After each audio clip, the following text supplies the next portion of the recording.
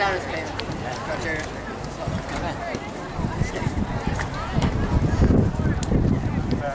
I probably couldn't break center.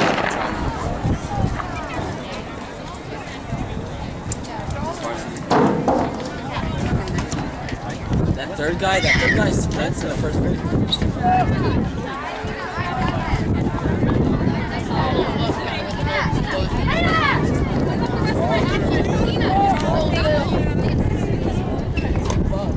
Die like right, right in the uh, goal post.